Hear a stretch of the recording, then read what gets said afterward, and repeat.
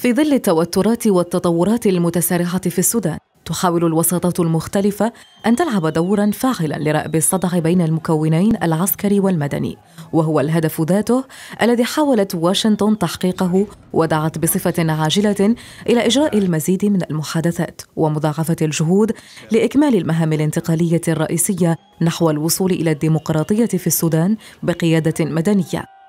الوزير أنتوني بلينكن أبلغ رئيس الوزراء السوداني عبد الله حمدوك وقائد الجيش الفريق أول عبد الفتاح البرهان بأن الاتفاق الذي تم التوصل إليه لإعادة حمدوك إلى منصبه ليس سوى خطوة أولى مهمة في العودة إلى مسار الانتقال الديمقراطي بالسودان وواشنطن متفائلة بهذه الخطوة نيد برايس أكد في بيان له دعوة واشنطن لاحترام الاحتجاجات السلمية في السودان وشدد على ضرورة رفع حالة الطوارئ بصفة عاجلة والإفراج عن جميع المعتقلين السياسيين.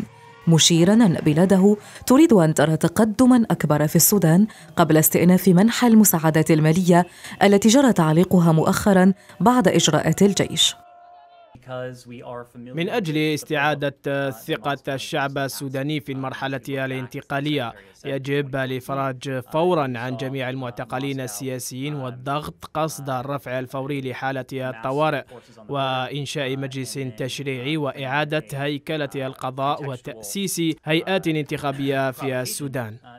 وخلف توقيع قائد الجيش السوداني ورئيس الوزراء اتفاقا يقضي بعودة حمدوك إلى رئاسة الحكومة والمحافظة على الشراكة الانتقالية القائمة بين المدنيين والعسكريين ترحيبا أمميا ودوليا بهذه الخطوة.